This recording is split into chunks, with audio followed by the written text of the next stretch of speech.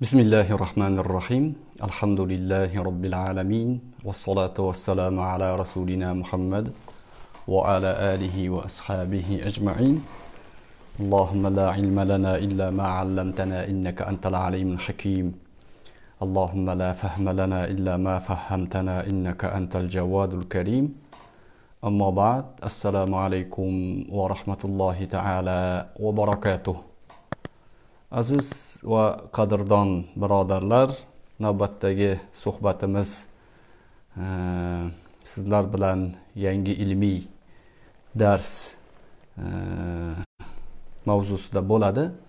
Inshaalloh bu mavzuni e, qancha bo'lishligini bilmaymiz lekin e, jiddiy bir ilmiy e, faoliyat sifatida ahli sunna val jamoaning e, buyuk imomlaridan biri. E, ahli sunna val jamoa aqidasining musahhihlaridan ya'ni isloh qilib tartiblab kelajak ummat uchun ahli sunnaning aqidasini saqlanib qolishligida buyuk ulug' xizmatlar qilgan zot imom maturidiy rahimahullohning asarlari to'g'risida to'g'rirog'i kitabu tavhid tavhid degan kitoblari to'g'risida suhbatlarimizni boshlaymiz. Bugun e, baroat kechasi undan tashqari chorshanba kechasida turibmiz. Nabiy muhtaram muhammad mustafa sollallohu alayhi vasallamdan rivoyat qilingan asarlarda chorshanba kuni boshlanadigan ishlar barakali bo'ladi. E, deyilgan va oxiriga yaxshilik bilan yetishligi umid qilinadi. Shu asarlardan inshaalloh ilhomlanib bugun yangi suhbatga debocha yasab kirish qilmoqchimiz. Albatta boshqa suhbatlarimiz ham o'z o'rnida inshaalloh davom etaveradi lekin birodarlar bu suhbatni ilmiy suratda batafsil boshidan boshlab oxiriga yetkazishlikka harakat qilamiz. Alloh taolo umrlarimizni barakotli qilsin. Barcha uchun manfaatli bo'lishini nasib qilsin. Umidimiz rejamiz bu ilmiy suhbatning oqibatida ahli sunna val jamoaning buyuk imomi imom maturidiy rahimaullohga til uzatadiganlarning asliy makonati qayerdayu? Imom maturidiy rahimaullohning o'zlari o'z kitoblarida naqadar e, islom ummatining qalbida makonat egasi bo'lganlarini bildiramiz. Avvalo e, bu masalaga kirishishdan oldin ba'zi narsalarga biz oydinlik kiritishimiz kerak. E, e'tibor bersangiz bugun e, imom maturidiyni ta'limotlarini kufrda ayblayotgan odamlar ko'zga ko'rina boshladi. Avvalroq bular imom maturidiy rahimaulloh deb gapirayotgan paytidayoq aytgan edim. Aytgan edimki yo'q bular hozir sekin astalik bilan imom maturidiydek imom ashariydek zotlarni ummat qalbidagi makonatiga ta'na qadah yetkazishlikka harakat qilyapti. Keyingi bosqichlarda bular aynan shu hashaviy toifalar e, imom maturidiy va ashariylarni kufrda ayblaydi degan edim. Buni ayblashyapti. Buni ko'rdik bir ikkita joylarda eshitdik. Hozir bu yerda bormi yo'qmi bilmadim. Ha bor ekan. Bor ekan. Hozir buni qo'yaylik. Zora sal. Kufr nisbati bor. Mana aytgan ekanmiz qaranglar. Arda gap ketyapti. Sahobalarga ashariy maturidiylarni qarshi qo'yishlikning keyingi bosqichida bosqichida kufr nisbati bor. Kufr nisbati bor mandagi ishonchli xabarlarga qaraganda yusuf davron ashariy moturidiylarni uchta masala bilan kofir deydi. Uni hali kelgani yo'q. O'sha kalomi nafziy istavo alal arsh yana bitta masalada kofir deydi. Hali aytgani yo'q buni hozir bekitib turibdi bu. Lekin hozirgi olib kelayotgan tayyorgarligi fundament shunga olib boryapti. Endi darsimizni mana shu gapni gapirgan ekanman. Mana shu gapni gapirganimda bilganlar atrofimizda shu suhbatlarimizni kuzatib yurgan do'stlarimiz ahli sunna val jamoaning mansub e, kitlasi jamoasi bu gaplarimizdan e, ya'ni hayron bo'lmagan edi. Chunki bizni aytgan gaplarimiz odatda ilmiy asosga hujjatga dalilga suyanishligini ko'pchilik biladi. Lekin trolling e, profillar e, qanaqasiga rahimaulloh deyaptiyu qanaqasiga kofir deydi ularni ta'limotini kufr kofir demaydi. Mana bir abror yolg'on gapirdi tuhmat gapirdi qilib rosa aylantirishdi. Lekin ko'p vaqt o'tgani yo'q. Ko'p fursat o'tmadi. Yusuf davron aynan man aytgan keyingi bosqichda bu kufr ta'limot ekan degan davoni qiladi. Eshitinglar e, kuzatinglar degan gapimni isbotini o'zi o'rtaga qo'ydi. Eshitamiz.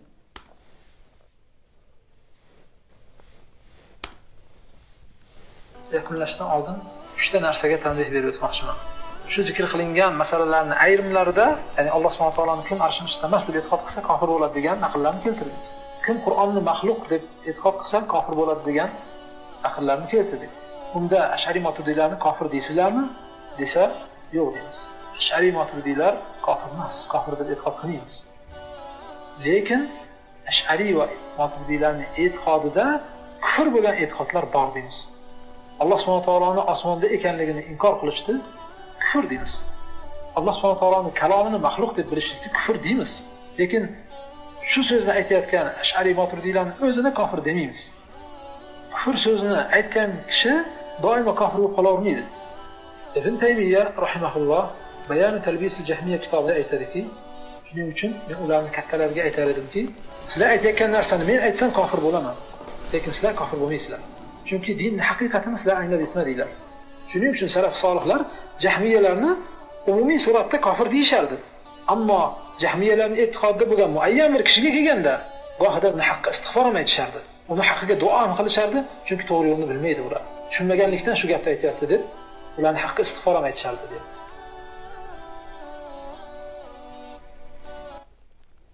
Demak bu joyda muayyan shaxsni kofir deyish bilan muayyan shaxsni kofir deyish bilan ta'limotni kufr deyishlik masalasi bu alohida masala. Ibn taymiya rahimaulloh ham muayyan shaxsni takfir qilishlik mutlaq islom ta'limotida to'g'ri emas bu qozini mahkamani ishi ekanligini aytadi. Barcha ulamolar bu gapni gapiradi. Bugun ibn taymiya rahimaullohga o'zini mansub qilib ko'rsatayotganlar bizni ochiqchasiga kofir deyapti. Bunga ridda tushib bo'lgan kofir bu murtad bu joni halol moli halol deyapti. Ular e, ya'ni bizga muxotob odamlar emasda ya'ni ilmiy salohiyati bo'lib yuzma yuz kelib gaplashadigan odamlar emasda. Lekin yusuf davron ahli sunna val jamoaning imomlari bo'lgan ashariy va moturidiylarning ta'limotlarini kufr deyapti.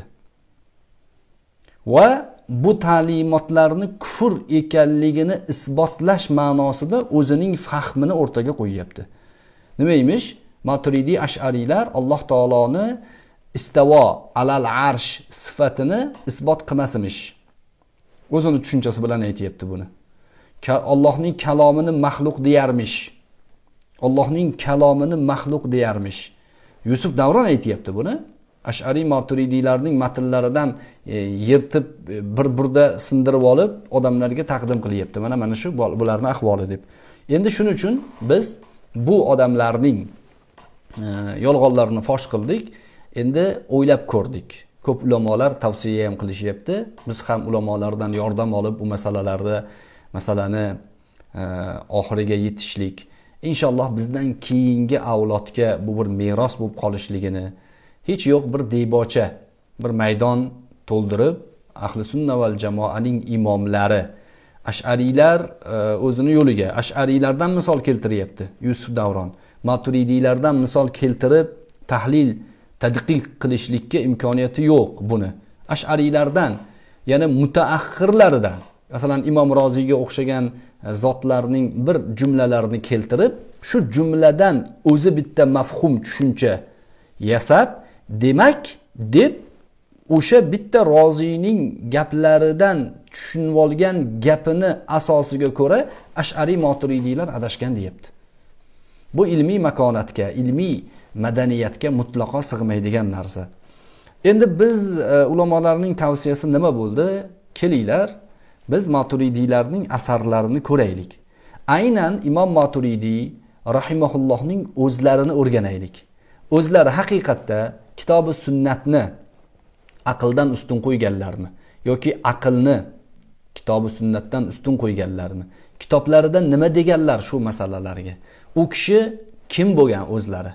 Nima uchun o'rtaga nima uchun u kishining faoliyatlariga kalom ilmi aralashgan? Bularni o'rtaga ilmiy asosda qo'yaylik. Biz bilamizki insof ahli bu jumla bu suhbatlardan o'zlariga juda katta foyda olishyapti.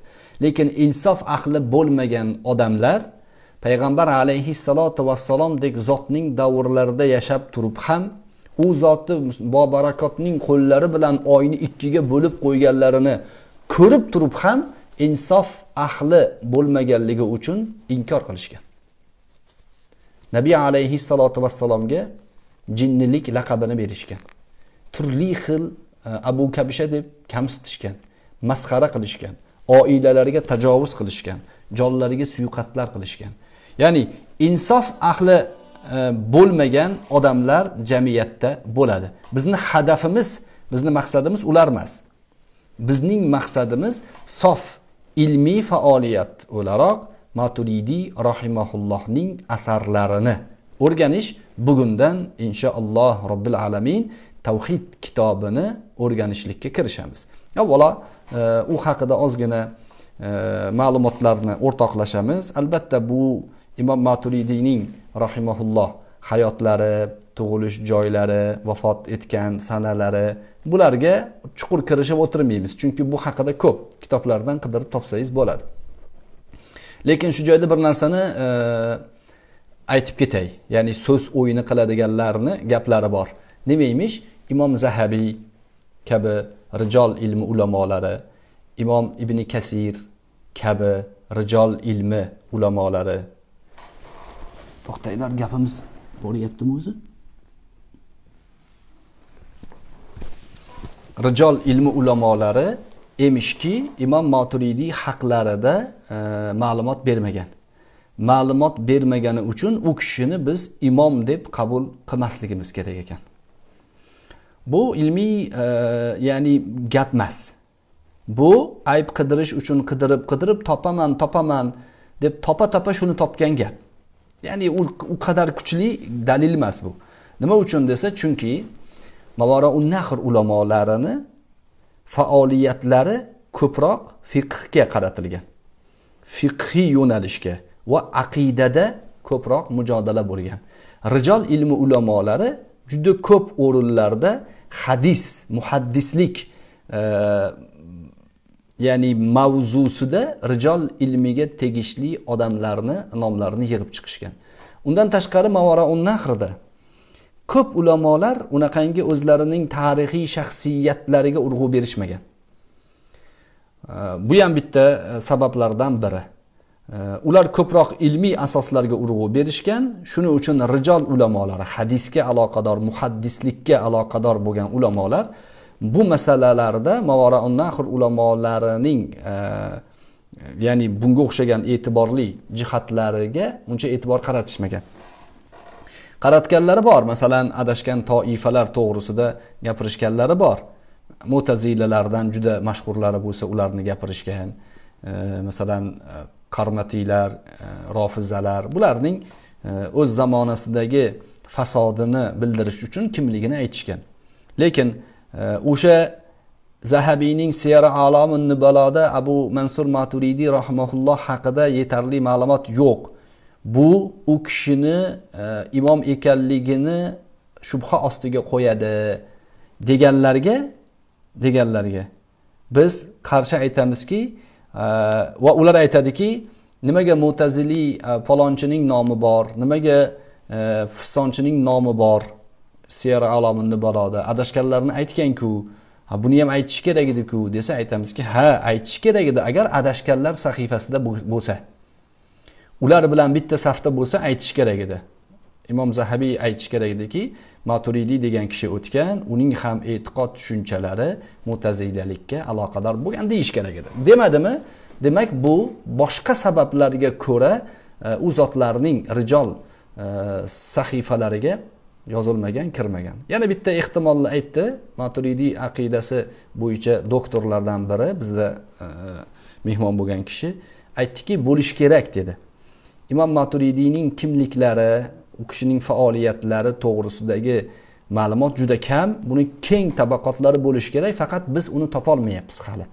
Qancha o'qilmagan qo'lyozmalar bor. Man avval ham aytdim sharqshunoslik institutida qo'lyozmalar bo'limida yetmish mingta qo'lyozma bor. Birodarlar o'qilmagan kitoblar. Buni ichida kamida ellik mingi hali tahqiq qilish kerak. O'qilmagan o'rganilmagan. Bo'lishi kerak biz topolmayapmiz dedi. Bu, bu, bu gap ham jon bor gaplardan. Endi shu joyda yana bir narsa bor. Bugun o'sha motridiy va ashariy rahimahumallohlarning ta'limotlarini tanqid qilayotganlar kalom ilmi to'g'risida imom shofiiyga o'xshagan e, salafdan bo'lgan tobiiy tabaa tobiiylardan bo'lgan e, kalomni tanqid qilgan ulamolarning gaplaridan iqtibos keltirishib mana imom shofiiy ollohga shirk keltirishdan keyin qornida kalom ilmi bilan yo'liqishlik eng katta ayanchli hodisa deganlar. Kalom ilmini tanqid qilar ekanlar. Shuni keltirib aytishyaptiki mana maturidiy ashariylar kalom ilmiga moyil bo'lgan odamlar. Kitoblari hammasi kalom ilmiga tegishli gaplar. Demak bular adashgan deyapti. Bu demak bular adashgan degan xulosa yusuf davron kabi bugungi kunning hashaviy peshvolarining gapi. Aslidachi aslida xuddi bugun e'tibor qaratsangiz ya'ni siyosiy vaziyatni ya'ni biz musulmonlar ichimizdagi siyosiy vaziyatni yaxshilab e'tibor qaratib yaxshilab tahlil qilsangiz xuddi shu xiyonatni bugun o'zlari ham qilyapti. Shu yusuf davronning atrofida uni tarafini olayotganlar. Masalan bizni imomlarimizni haqorat qilishyapti. Haqorat qilsa biz ham chiqib turib uni pachag'ini chiqarib yuboryapmiz. Haqorat qilgani uchun biz ham haqorat qilyapmiz uni. Asli noto'g'ridir u haqorat. Lekin u haqorat qilganchalik madaniyatsiz qilmayapmiz. Asoslab haqoratga javob qaytaryapmiz. Javob qaytarsak bular endi nima qilyapti? Ana ko'rdinglarmi? Bular ulamolarga tosh otyapti deb bizni ko'rsatyapti. Xuddi mana shu uslub imom maturidiy rahimaullohga qilinayotgan ta'nada ham o'zi aksini topadi. Ya'ni imom maturidiy dunyoga keldilaru kalom ilmini kashf qildilaru kalom ilmida bu kishi faoliyat boshladilar degan tushunchani odamlarga singdirishyapti. Imom shofiiy rohimaullohning kalom haqida aytgan tanqid gaplari imom maturidiyga tegishli qilib ko'rsatishyapti. Aslidachi aslida birodarlar islom ummatining boshiga kelgan vaziyat o'sha ikkinchi asr.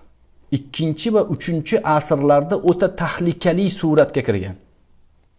Koronavirus hozir qanaqa tahlika tug'diryapti bizda? Hozir hamma uyda o'tiribdi. Chiqsa yuqyapti to'g'rimi?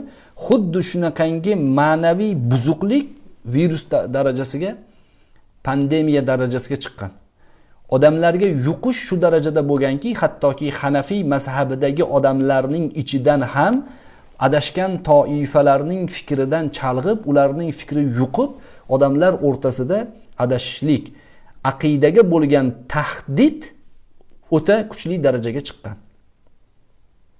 Keyin ulamolar bu tashvishni oldini olish uchun ularga o'sha falsafachilar e, aflotunchilar shunaqangi kalom ilmi bilan dunyoda gap tarqatib yurgan aqidani har bittasiga aqldan matn topishimiz kerak. Deb turgan odamlarga qur'ondan hadisdan oyatdan javob berishsa ular qabul qilmagan. Qabul qilmasdan ular o'zlari yunon falsafasidan o'rgangan kalom ilmining qoidasi bo'yicha mantiq talab qilishgan. Ana bu vaziyatda imom maturidiyning chiqishlari mavjud vaziyatga muolaja o'laroq. O'sha vaziyatga muolaja o'laroq kalom ilmining o'zini xususiyatlari bilan javob berishga majburiyat zarurat tug'ilgan. Bu zaruratni u kishi kashf qilmagan ya'ni imom shofiiy kalom ilmini tanqid qilganlari moturidiyni tanqid qilgan bo'lmaydi. Moturidiy rahimaullohga ashariy rahimaullohlarga tanqid deb nazarda tutilmaydi. Nimaga nazarda tutiladi desa kalom ilmi bilan bizning ahli sunna val jamoamizning aqidasiga hujum qilgan toifalarni haddini bildirish ular o'rgangan ilmni o'zi bilan bo'lgan. Buni zimmasiga imom ashariy imom maturidiylar olishgan. Bugun endi o'sha e, manyovr qiladigan ya'ni bir qarasang e, kimligini tanib bo'lmay qoladigan odamlar aylantirib o'rgiltirib bugungi uslublari bilan qadimgi ulamolarimizga ham ta'na toshini otishyapti. Bugun kirish suhbatimizni biroz qisqaroq qilmoqchiman o'zi. Har qisqaroq qilamiz deganda ham suhbat uzayib ketyapti lekin birodarlar ilmiy suhbat qilamiz. Birinchi iltimos mana bu e, biz jonli qilamiz muloqotlarimizni. Yozib olib qilmayapmiz asosan. Har xil troll profillarni e, mavzuni chalg'itish uchun o'sha e, harakatlariga aldanmanglar javob bermanglar. Kim shu trolling qilayotgan bo'lsa hadisi sharifga ko'ra o'z onasi bilan zino qilganlik gunohidan og'ir ish qilyapti ular. Ular bechora odamlar. Ularga kerak emas javobni. Chunki ular muxotab ham emas. Kimligi yo'q noma'lum odamlar. Shuning uchun biz nima qilamiz? Ilmiy suhbatga zehnimizni qaytadan e, ya'ni konsentra qilamiz. Ya'ni raksni bunga qaratamiz.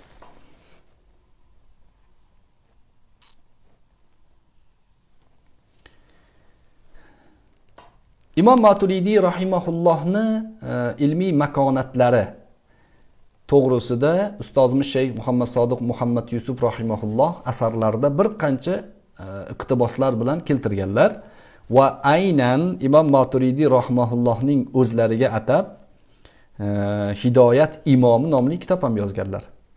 U joyda o'sha e, ya'ni chiroyli yaxshi ma'lumotlarni berganlar.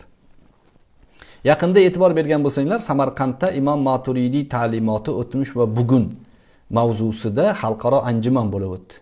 Unda butun e, islom katta katta islom ulamolari olami islom olami ulamolari nufuzli e, oliygohlardan taniqli ulamolar keldi. Ishtirok etdi. Bular bu masalada e, o'zlarini chiqishlarini suhbatlarini qilishdi. Hatto imom maturidiy rahimaulloh to'g'rilarida asarlari to'g'risida ilmiy e, ishlar qilgan ba'zi zotlar e, anjumandan keyin ham taxminan yigirma kun atrofida qolishdi. Ko'p suhbatlarda bo'lishdi va imom moturidiyning ilmiy ta'limotining ahamiyatini o'zbek ahli ilmlar talabalariga buni yetkazishdi. Yana e, shu joyda bir narsaga urg'u berib ketaylik. Imom maturidiy ta'limotiga tanqid nazari bilan qarayotganlar. Masalan yusuf davronni o'zini aytyapman. Imom maturidiy ta'limotini o'qimagan. U imom maturidiy rahimaullohga qarshi yozilgan kitoblardan iqtiboslar o'qigan. O'zlarini kitoblaridan o'qisa yo yuqori yo pastini o'qisa uning gapiga zid qarshi gaplar bor. Lekin man kuzatdim manga yetib kelgan kuzatuvlarimning natijasida Э, faqat ashariylardan misol keltiryapti. Va mutaaxirlaridan ashariylarning mutaaxirlaridan man biror marta ko'rganim yo'q imom boqilloniydan misol keltirganini. Imom boqilloniy mutaqaddimlar hisoblanadi. Ashariylarning mutaqaddim e, musahhihlaridan hisoblanadi. Mutaaxirlardan misol keltiryapti. Bir kishining misoli bilan butun boshli katta ahli sunna val jamoaning madrasasini adashgan madrasa deyapti. O'sha tanqid qilyapman deganlar yusuf davronning atrofida yurganlar mutlaqo imom maturidiyni tanimaydi. Hozir ellikka yaqin dars qilibdi yusuf davron. Unga berilgan raddiyalarga javob bera olmasligini bilib hozir e, yashirinib olib zindan har tomonga virus tarqatib yotibdi. Uning atrofidagi odamlardan birortasidan so'rang. Imom moturidiyning kitobi tavhid degan kitobini o'qiganmisiz o'qib chiqqanmisiz deng? Hozirdan aytaman yuzda yuz o'qib chiqmagan. O'qisa tushunmaydi ham. Nimaga? Qiyin kitob. Qiyin kitob. U kitobni o'zi o'qib tushuna olmaydi.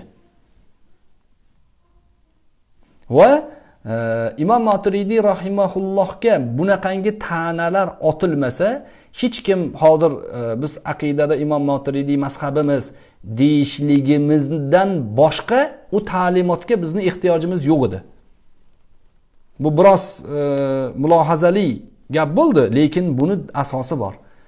Biz qachon maturidiy mazhabi bilan javob beramiz boshqa odamlarga desa atrofimizda hashaviylar bugungi til bilan aytganda salafiylar e, yoki hizbiylar har turli aqida buzg'unchi toifalar havorijlar chiqsa ularga qarshi mana bu oyatga mana bu ma'noni aytyapmiz desa imom moturidiyning mana bu usuliga ko'ra bunga mana bu ma'noni aytamiz deymiz. Ana o'shanda bizga moturidiy aqidasidamiz degan gap zarur bo'ladi. Ya'ni bu gapning ma'nosi shu. Lekin lekin mutlaq ixtilof ixtilof bo'lmagan masalalarda bizda alohida alohida ya'ni mazhab yo'q. Allohning yakkaligi to'g'risida alohida mazhab yo'q. Olloh yakka bu din bu. Payg'ambarlarning haqligi to'g'risida alohida mazhab yo'q. Bu din bu. Bunda ergashib ketaveramiz. Fiqhda ham shu. Fiqhiy masalalarda ham ixtilofga oyat hadislar imkoniyat tug'dirsa unda ishtihod bo'ladi. Tug'dirmasa unda biz amal qilib yashayveramiz. Qachon biz hanafiymiz deymiz desa ixtilofli masalalarda amal qilish yuzasidan hanafiymiz deymiz. Masalan dengiz hayvonlarini yesak bo'ladimi desa man aytamanki hanafiyman baliqdan boshqasini yemayman deyman. Mana bu shunda kerak bo'ladi. Imom maturidiymiz degan gap qachon kerak bo'ladi desa xuddi qarshimizda yusufiylar yusufi davroniylar chiqsa ularga qarshi qanday javob beramizda? Maturidiy ta'limoti bilan javob beramiz. Maturidiy ta'limoti bilan javob beramiz. Bu ya'ni bularning shubha uyg'otayotgan ishlaridan biri shu javoblardan biri. Nima uchun abu hanifaning mazhabida emas desa buni ham javobi bor. Ya'ni to'g'rirog'i ularning e, fikr chalg'itishligiga to'g'ri javobimiz bor. Imom abu hanifaning mazhablaridamiz aqidada ham. Imom maturidiy ham abu hanifaning mazhablarida edi aqidada ham. Ikkita yoki uchta odam orqali abu hanifaga san'atlari bog'lanadi. Hozir uni keltiramiz. Yana bir gap masalan haqoratlarni e, bu yusuf davron tarafkashligi suratida ko'rinib olib chunki ixtilof qilsa bo'lishligi shu mavzuda xolos. Kim e, yusuf davron tarafida bo'lib olsa butun boshli katta ahli sunna val jamoa ulamolariga e, qarshi turib turib ixtilof qiladi. Ular ixtilof qilsa bunga o'xshagan masalalarda musulmonlarning aqida e'tiqodlarini haqorat qilsa biz nima deb javob beryapmiz? Bu haqoratingga aslida jazo berish kerak. Shar'iy nuqtai nazardan bunga aslida jazo bor. Masalan qur'oni karimda yolg'on guvohlik bersa bir ayolni zinoda ayblasa to'rtta guvoh keltira olmasa begona ayolni. To'rtta guvoh keltira olmasa u darra yeydi. Jazo bor. Jazo. Darra yeydi va guvohligini soqit qilinadi. Qaytib buni gapi eshitilmaydi deyiladi. Bu jazo bu. Endi ahli sunna val jamoa ulamolariga tuhmat qilayotganlarga biz jazo berolmaymiz hozir. Nimaga? Qochib yuribdi ular. Bittasi shvetsiyada o'tirib olgan. Bittasi amerikaga berkinib olgan. Bittasi ukrainaga ofis qilib olgan. Borsak ukraina aytadiki bizni himoyamizda bu deydi. Shvetsiyada yurgan tepakal bor se bilan ketadi oti nima u? Har joyda haqoratli gaplarni yozib yotibdi shvetsiyada o'tirib olgan. Shvetsiya maxsus xizmatlari unga siyosiy boshpana bergan yoki qochoq maqomini bergan. Uni o'g'li gey bo'lib ketsa o'zi o'sha bizga moturidiylarga sakrayotgan o'zini o'g'lini himoya qila olmaydi. Unga qo'limiz yetmaydi hozirgi kunda. Nima qilamiz? Biz aytamizki e, hadis shariflarga ko'ra ular o'sha eng og'ir jinoyatni qilishyapti. Desak nima deyapti? Bu haqorat qiladi bu axloqsizlik qiladi. Ha imom e, hazrati umar roziyallohu anhu axloqsizmidilar? Hazrati umar jazolagan paytlarida qamab qo'yib urgan paytlarida axloqsizmidilar? Yo'q axloqli edilar. Hazrati payg'ambarimiz sollallohu alayhi vasallam zinokorni toshbo'ron qil deganlarida axloqsizmidilar? Nabiy sollallohu alayhi vasallam o'g'rini qo'lini kesganlarida axloqsizmidilar? Hazrati ali qurol ko'tarib o'sha e, havorijlarga qarshi qurolli jangga kirganlarida axloqsizmidilar? Yo'q bu so'z o'yinlari birodarlar. Odamlarni sodda odamlarni darsdan chalg'itish uchun bunaqa gaplarni qilishyapti. Lekin ularning xatolari isbotlab berilsa ochiq oydin isbotni ko'rib turgan vaziyatda profil o'zgarib qoladi nomini o'zgartirib oladi. Abdu ali qilib oladi misol uchun. Yoki e, boshqa nomga aylantirib oladi. Nimaga? Chunki E, javob bermaydi tavba qilib uzr aytmaydi. Samimiy bo'lsa u samimiylariga alhamdulillahi robbil alamin ilmiy bahslarimiz suhbatlarimiz yetib boryapti. Ular ko'p tashakkurlarni bizlarga aytishyapti. Demak bizga qachon kerak bo'lar ekan? Imom maturidiy ta'limoti. Imom maturidiy ta'limoti atrofimizda havorijlar ming'irlab qolsa o'shanda kerak bo'ladi. Imom maturidiy ta'limoti atrofimizda hashaviylar allohga jism isbot qiladiganlar ollohning qo'li bor ollohni jism deymiz. Faqat boshqa jismlarga o'xshatmaymiz deydiganlar paydo bo'lsa biz mana bu kitoblar orqali ularga javob beramiz. Ba'zilar e, manda biroz e, ya'ni o't pufagimda e, oz muammo sababli biroz kekirish bo'ladi. Keyin ko'p gapirgan paytingizda ham bunga o'xshagan narsalar bo'ladi. Bular ilmiy faoliyatlarga raddiya berolmasdan bizning shaxsimiz jismimizga aloqador har xil e, karikaturalarni qilib yurishibdi.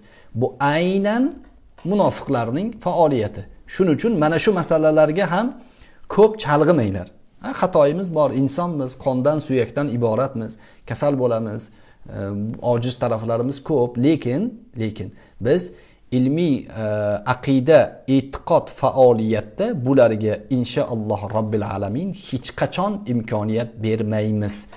Jonimiz tanamizda bor ekan bu ishni zimmamizga olib davom etamiz. Dunyodan o'tsak alloh subhanahu va taolo bu ishni davom ettiradiganlarni chiqarishligiga ham iymonimiz komil.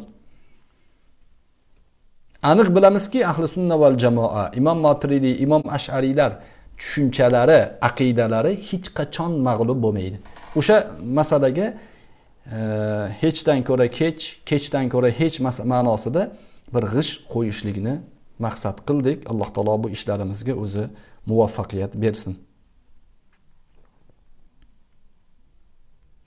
Imom maturidiyning to'liq ismlari abu mansur muhammad ibn muhammad ibn mahmud al maturidiy as samarqandiy al ansoriy ismlari endi bu kitoblarda bor. Maturid e, samarqanddagi maturid degan qishloqqa nisbat beriladi. Samarqandiy deyilishliklari samarqandga aloqador qishloq. Ansoriy deyilishliklarida ixtilof bor. Ba'zilar payg'ambar alayhissalotu vassalomga ansor bo'lgan ansoriy e, e, sahobalarga nisbati bor bu kishini deydi lekin bu unaqa to'g'ri gap emas deganlar buni mm, abu ayyub ansoriy roziyallohu anhuga boradi degan gap to'g'ri emas. Doktor bakr tobol o'g'li degan e, kishi borlar turkiyalik e, ahli ilm olimlaridan. Bu kishi mm, tavhidni kitobini tahqiqida aytgan ekanlarki e, zubaydiyning e, so'zlari boshqa dalillarga suyanib ansoriy nisbati imom maturidiyga nasab e'tiboridan emas. Nasablarida abu muso ashariy e, abu muso ashariy abu mansur maturidiyning nasablarida ansoriy nisbati borligidan emas abu ayyub ansoriyga nisbatdan emas balki islom ummatiga ansor bo'lgan bu kishi. Islom ummati aqidani qanday himoya qilar ekanmiz? Endi kim bizga yordam beradi deb turganda maydonga chiqqan bu kishi. Shuning uchun ansoriy nisbati berilgan degan ekanlar. Tahqiqqa ko'ra bu. Ba'zilar uchinchi toifa odamlar ansoriy nisbati mutlaqo to'g'ri emas. Abu e, mansur maturidiyga buni bermaslik kerak deyishgan ekan. Xullas buni uchalasini bitta qilib tushunsangiz umumiy lug'atda buni tushunib olamiz. Abu mansur nomlari ham abu mansur nomlari ham u kishiga nisbatan kunya mansur degan o'g'illari bo'lmagan balki millatning otasi. Yordam berilgan millat ya'ni payg'ambar alayhissalotu vassalom ahli sunna val jamoani qiyomatga qadar alloh taolo tomonidan qo'llab quvvatlanib turishligini bashoratini berganlar. Bu ma'noda mutavotir darajada hadislar bor. Ahli sunna val jamoa hech qachon mag'lub bo'lmaydi. Har doim aytamiz shuni. Ahli sunna val jamoa maydonda yagona birodarlar. U barcha bilan mujodala qiladi. Ahli sunnaning qarshisida dahriylar bor. Ahli sunnaning qarshisida sunnat inkorchilari bor. Ahli sunnaning qarshisida qadariylar bor jahmiylar bor shialar bor havorijlar bor hashaviylar bor hizbiylar bor.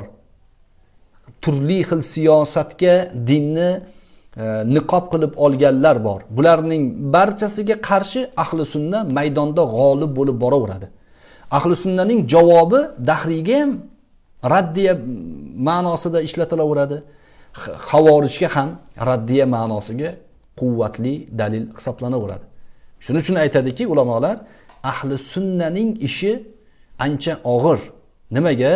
U hamma dushmanga qarshi o'zi yakka turadi. Lekin dushmanlarning ishi undan ham og'ir. Nimaga? Ular ahli sunnaga qarshi turadi. Ahli sunnaning yordamchisi alloh taolo. Va'da bor bunga.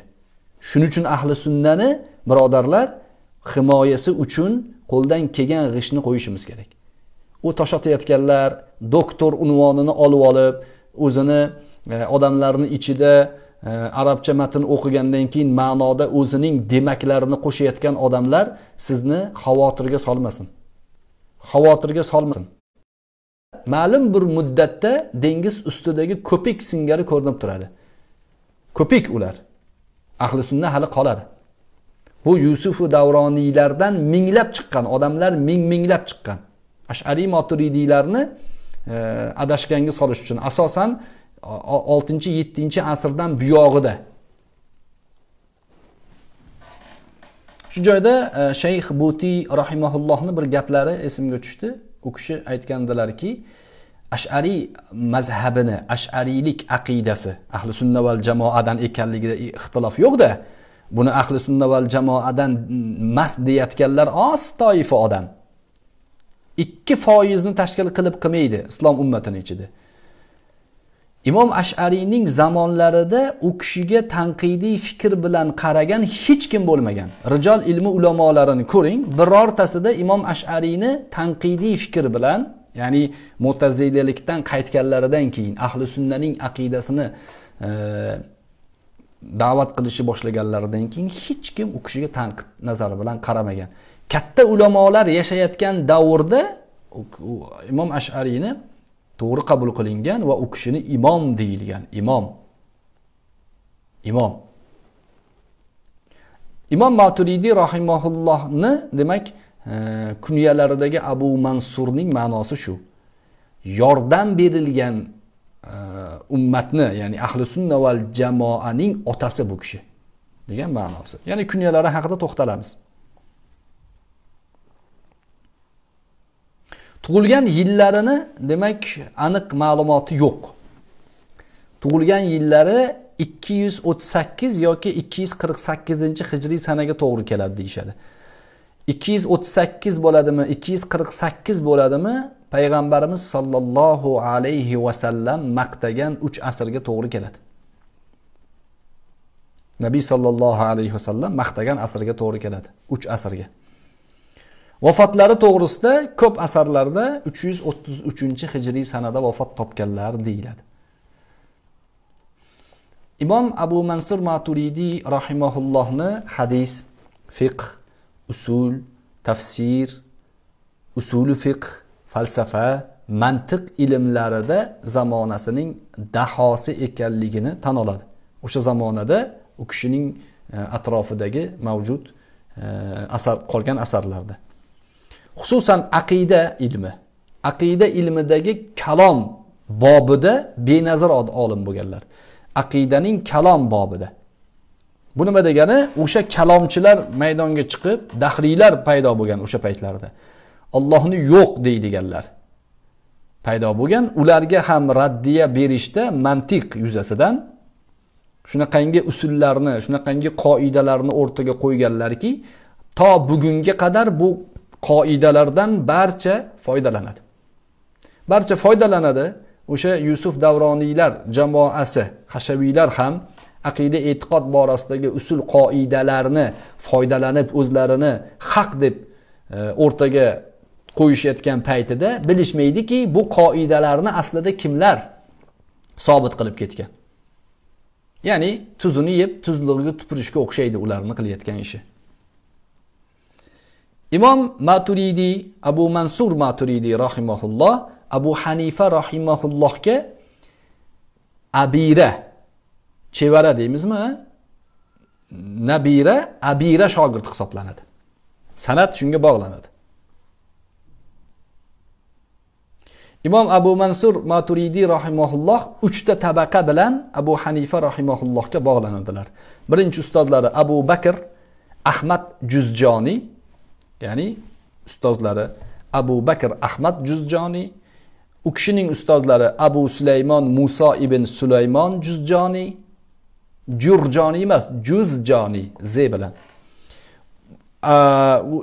ya'ni abu sulaymon muso ibn sulaymon juzjoniy imom abu yusuf bilan imom muhammaddan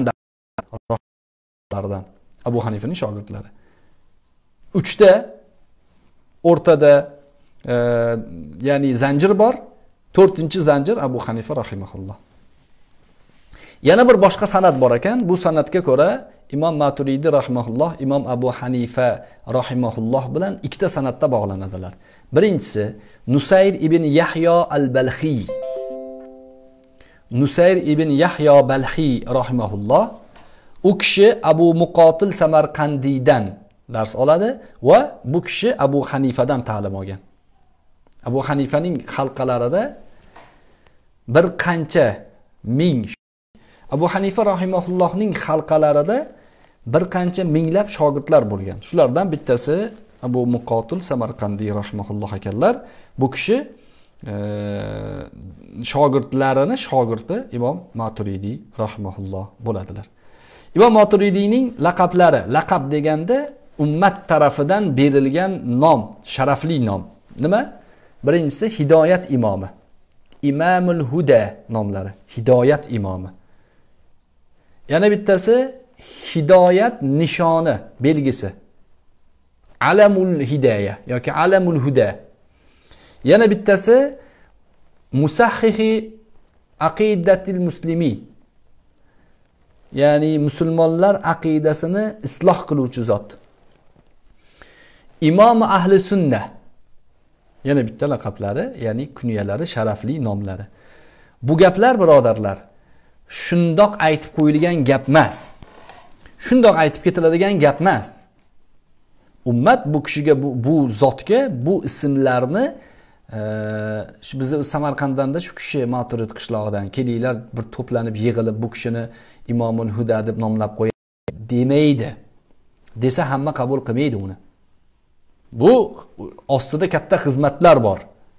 Shu xizmatlar ta'limoti orqasidan bu ishlarga erishganlar.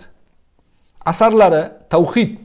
Birinchi tavhidni zikr qilyapmiz. Sababi inshaalloh bir suhbatlarimizni tavhid asosida olib boramiz. Ya'ni kitabu tavhid. Allohni yakkalash haqida kitob. O'sha kitobda e, buni ham keltirarmiz. Nimalarga e'tibor berganlarini xronologiyasini ham keltiramiz. Ikkinchisi al maqolat maqolatlari bor. Abu hanif e, abu mansur maturidiy rahimaullohni kitobda kitobda adashgan toifalarga qarshi raddiyalar bor maqolatda. Uchinchi arroddu alal qaromita qaromitlarga qarmatiy degan toifa bo'lgan qarmatiylarga qarshi raddiya yozilgan kitob. Arraddu avoilul adilla lil kabi roddu avoilil adilla lil kabi kabiyning avoilul adilla degan kitobiga raddiya. Avoilul adilla degani asosiy dalillar degani. Ya'ni kabiyni asosiy dalillar degan kitobi bor. Endi kabiy kim?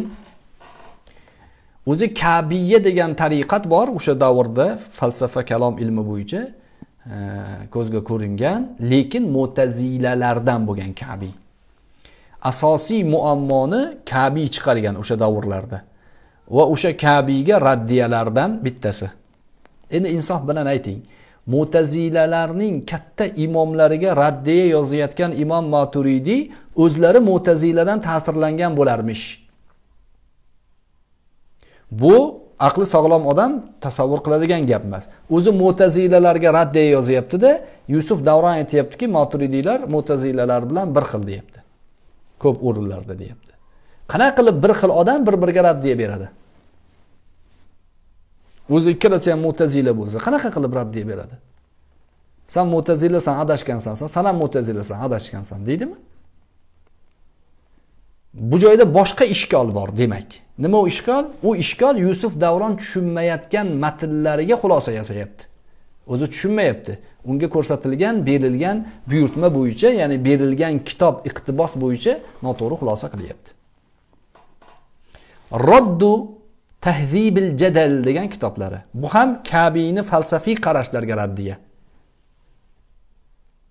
Ya'ni tortishuv bahslash bahslashuvning tahzibi tahzib degani bu chiroyli tartibga keltirish degani. Chiroyli tartibga keltiraylik bahslashuvni degan kitobi bor ekan kabiyni. Shunga rod raddiya bergan ekanlar. Roddu vaidil fussaq degan kitob. Bu ham kabiyni e, o'sha vaidil fussoq degan kitobiga raddiya. Ya'ni fosiq kishilarga vaid degan kitob bor ekan kabiyni demak falsafiy qarashlar bilan juda loyqalagan bular. Islom ummatining ichida maydonda odamlarning qo'lida kabiyning kitoblari tarqagan payt. Man avval avval aytganimda imom e, taymiya ibn taymiya rahimaullohni o'sha e, minhajun nubuva degan asarlari raddiya sifatida yozilgani. Minhajul karoma fi isbatil imama degan kitobga raddiya bo'lgan u kitob. U kitob shomda shomda. Shom o'lkalaridagi musulmonlarning boshini aylantirayotgani uchun ibn taymiya rahimaulloh unga raddiya yozganlar va ularni e, fikrini himoyasi uchun u kitob xizmat qilgan. U kitob bugunga qadarcha borda bugunga qadar rofizalar bu kitobdan e, yegan tarsagini esdan chiqara olmaydida lekin bu mavoraun nahrda tarqagan. Bu fikrlar ummatning orasida e, tarqagan ummatning fikrini buzishga xizmat qilayotgan o'sha kabiyning asarlariga imom moturidiy raddiya yozsa uni uni nimaga ko'tarish olmayapti? Nimaga uni mo'tazila deyishyapti? Hech kim aytmaydiki ibn taymiya rohimaullohni shia deb. Yusuf davronning misoli imom moturidiyni mo'tazilalarga o'xshatishligi xuddi ibn taymiyani shiaga o'xshatish bilan bir xil. Bu jumlaning tashbehini ilm o'qigan kitob ko'rgan odamlar juda yaxshi bilib ko'rib turibdi. Ibn taymiyani shia desa kim ishonadi? Imom moturidiyni mo'tazila desa o'sha ahmoq ishonadi demak. Ibn taymiya rahimaullohni kimda kim kimda kim? Shia desa ahmoq bo'ladi u. Imom maturidiyni kimda kim mo'tazila deyayotgan bo'lsa xuddi bir xil ahmoqligi. Buniki chandon balandroq ham. Chunki ibn taymiya salafdan emaslar. U kishining xatolari bo'lishligi tabiiy. Va ko'p ulamolar tomonidan tanqidga uchragan fikrlari bor. Lekin imom maturidiyga nisbatan bu gap o'ta qattiq jur'at. Katta jur'at bu. Ya'ni laylakni yurishini qilaman degan chumchuqni gapi bu. Oyog'i yirilib ketadi. Laylakni yurishini qila olmaydi. Yettinchi asarlari tavilotu ahli sunnah. Bu tafsir kitob. Eng mashhur kitoblardan biri. Mujallad ham katta. Ya'ni ahli sunnaning taviloti tafsir ma'nosida bunda o'sha mavzulari kalom ilmi bo'lgani uchun e, asosan o'sha har turli adashgan toifalarga raddiya berishga urg'u qaratganlar e'tibor qaratganlar. Yana bir kitoblari al imama imomatlik to'g'risida kitob yozganlar. Bu rofizalarga shialarga raddiya sifatida yozilgan. Bayan vahmil mo'tazila mo'tazilalarning vahmlari ya'ni ilmga asoslanmagan demaklarini bayoni. Man biroz bugungi zamonaviy tilga tarjima qildim. Bizni suhbatlarimizni eshitganlar bu ma'noni tushunadi. Ya'ni mo'tazilalarning vahmi o'z tushunchalarining bayoni. Qanaqa vahmga ega? Vahm birodarlar. Ilm yuzda yuz haqiqat bo'ladi. Zon yuzga yetmagan haqiqat bo'ladi. Shak ellikka ellik bo'ladi. Ellikdan pasayib ketsa ya'ni haqiqati ellikdan past bo'lsa vahm bo'ladi. Vahm to'qson foiz haqiqati yo'q o'n foiz ehtimoli bor. Buni vahm deydi. Yuz foiz e, yolg'on bo'lsa kizib deydi buni. Xuddi shuni singari mo'tazilalarning vahmi to'qson foiz botil o'n foiz haqiqat deyayotgan gaplarining bayoni. Ya'ni nima ekan? Yusuf davron gapni gapirib gapirib demak degandan keyingi gaplarini bayoni ekan. Maahidu sharia degan kitoblari bor. Usul fiqga bitta boshqa kitoblari ham bor. Kitobul jadal degan kitoblari bor. U ham fiqhga aloqador kitob. Endi biz o'rganadigan kitobni nomi kitobu tavhid bu haqida menimcha suhbatni shu joyda to'xtatsak bo'ladi. Sababi kitobi tavhid. U kitob asar haqida uning kirish qismidan boshlamaymiz. Kirish qismida e, dahriylarga raddiya qidam masalasiga e, ya'ni urg'u berganlar. Qidam qadimiylik nimaga oid bo'ladi? Biz ko'rib turgan narsalar hadasmi? Paydo bo'lgan narsami yoki e, g'oyri hudusmi? Paydo bo'lmagan avvali bormi? Buni e, dalillarini kalomiy e, falsafa aqliy mantiq va e, qachonki qarshilariga ro'barolariga mo'tazila jahmiya hashaviylar fikrlari chiqqan paytida endi dalil sam'iy dalillar deb ajoyib bir uslubni qo'llaganlar va barcha e'tirof ham qiladi. Mana o'zimni shaxsiy xulosalarimdan biri imom maturidiy rahimaulloh ahli tasavvuf bo'lganlar. Tasavvufga juda katta urg'u berganlar. Kitoblarini o'qisangiz matnlarni keltirgandan keyin har bir jumlaning oxirida vallohul muvaffaq e, yoki la havla va la quvvata illa billah va la quvvata illa billah degan zikrlar bor. Har bir fikrning oxiriga kelgan paytida albatta allohni zikr qilish bor. Bu ahli zikr ahli tasavvuf qalbini allohga bog'lagan har bir amaliyotida e, taqvosi bor insonlarni ulamolarning uslubi. Kitoblarida maza qilasiz. Xudo xohlasa o'qib inshaalloh u masalalarga ham yondoshamiz. Bugun kirish qismining birinchi qismi haqida sizlar bilan suhbatlashdik. E, ilmiy usuldagi suhbatni oz oz bo'lsada davom ettirib borishligimizda alloh taolo o'zi bizlarni muvaffaq qilsin. سبحانك اللهم وبحمدك نشهد أن لا إله إلا أنت ونستغفرك ونتوب إليك. وآخر دعوانا أن الحمد لله رب العالمين. السلام عليكم ورحمة الله وبركاته. حينما رددت يا رب العباد وانتشت روحي